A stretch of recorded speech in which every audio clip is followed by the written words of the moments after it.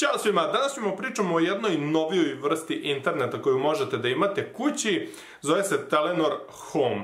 O čemu se radi? Znači, bukvalno, ako imate 4G, sigurno ste nekada merili brzinu i videli da te brzine uopšte nisu naivne i da su sasvim uh, korisne, jeli, i kući. Tako da, uh, u suštini, ovde ćemo koristiti 4G mrežu, to je Telenor Home koristi 4G mrežu, znači mobilnu, uh, i onda taj internet daje, jeli, vašem računaru ili čemu god.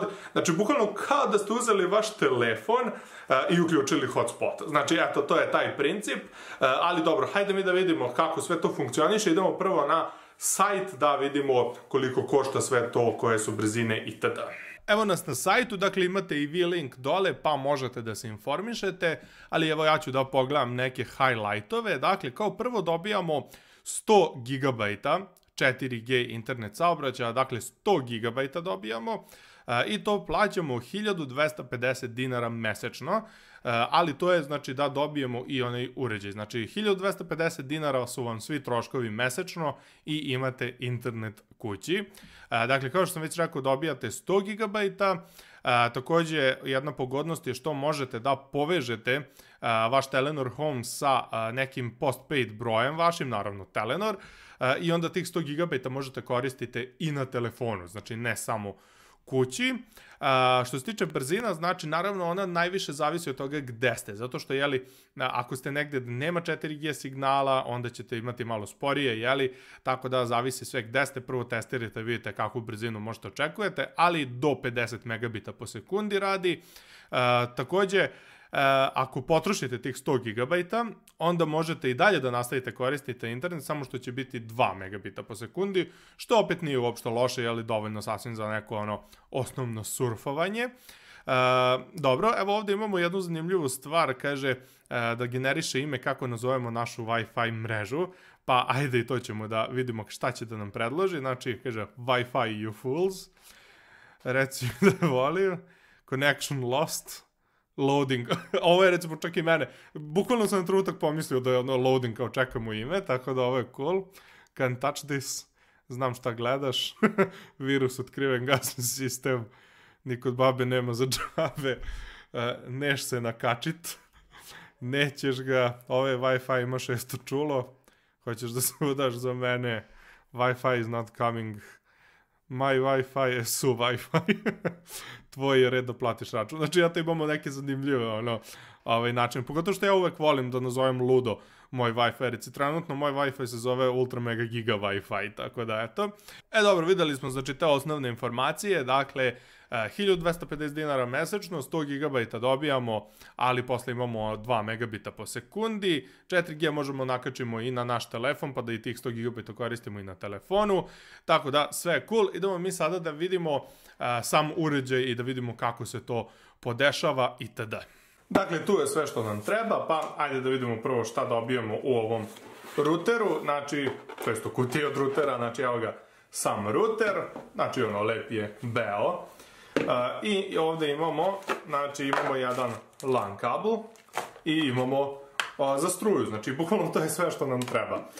Kako se ovo podešava, znači izuzetno lako, evo ovde imamo, znači inače router je ono poprilično jednostavno, znači ovde imamo ove statusne lampice, imamo dugme za uključivanje i isključivanje, iza imamo četiri LAN porta, kao što možete vidite, znači možemo četiri uređaja da a, povežemo koja ne mogu preko Wi-Fi ili ti ono, ne mere to bez kabla, a mogu do 32 Wi-Fi uređaja da se nakače, tako da onako zaista može puno toga da se nakači ovde. Kako se instalira, znači moramo samo ovu karticu da ubacimo unutra, kako, evo ovde imamo ova vratanca i onda uzmemo karticu, odlomimo i ubacimo je ovde unutra na mestom.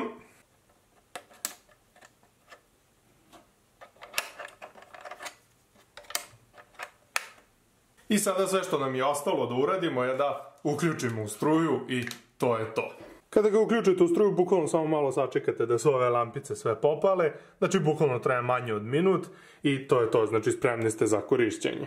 Hajde sad da testiramo ono što je najbitnije, a to je koja je brzina ovog interneta, jeli, džab on, sve što je to lepo, fino i lako se namešta i sve, ako nije brz. Dakle, imajte na umu da ovaj ruter zavisi od 4G signala. E sad, ja živim u Pančevu, koji nije veliki grad, i to još živim na ivici Pančeva, u zgradi koja je, jeli, okružena sa svih strana, što znači da, a, nis, da sam daleko od savršenih uslova za ovaj ruter, pa ajde idemo na Go, da vidimo šta ćemo dobiti. A, znači, prvo testiramo ping, da vidimo koji smo ping dobili. Dobili smo 16 milisekundi, što je sasvim dobro. A pogledajte download, znači evo ga, prelazi 60, 63, 65, 66, 70, 71.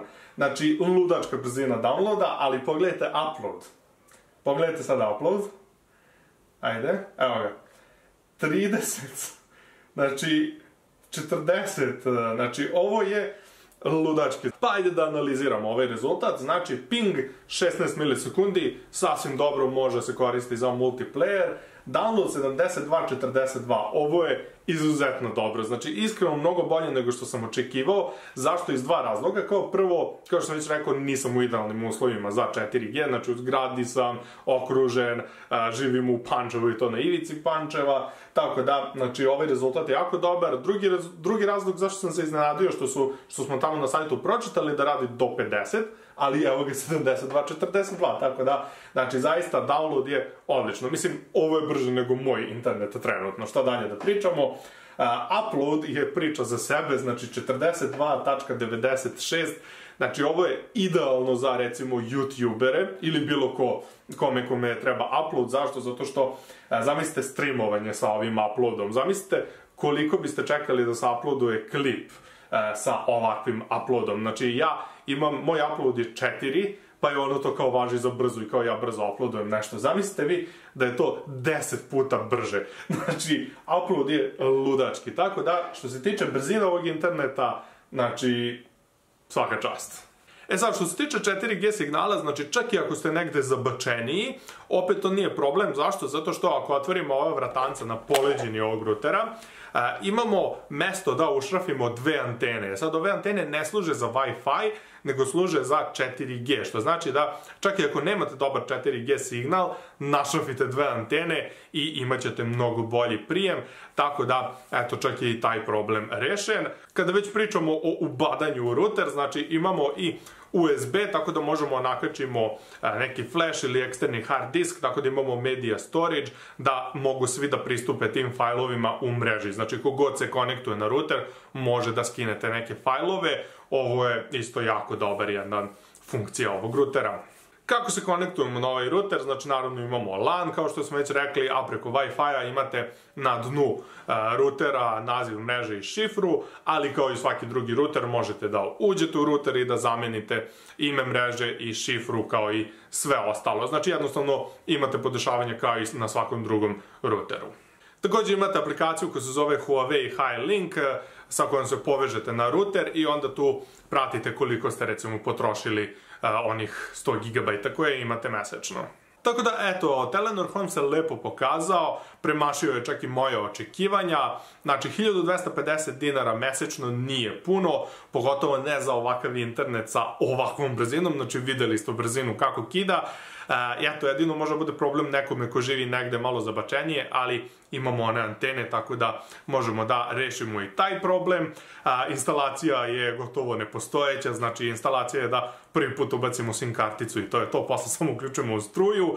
Zbog toga znači da je ovaj internet prenosiv, tako da možemo da ga ponesemo sa sobom. Bukvalno gde god da idemo, samo nam treba utičnica i imamo naš internet sa nama, tako da eto i to je super. Tako da zaista smatram da a, Telenor Home zaslužuje preporuku kao a, kućni internet i u suštini i preporučujem ga. Jedino će biti problem onima koji baš puno saobraćaja koriste, znači preko 100 GB mesečno, ali u suštini za većinu ljudi 100 GB je i više nego dovoljno, tako da, a, opet kažem, znači Telenor Home ima moju preporuku kao kućni internet. Tako da, to je to.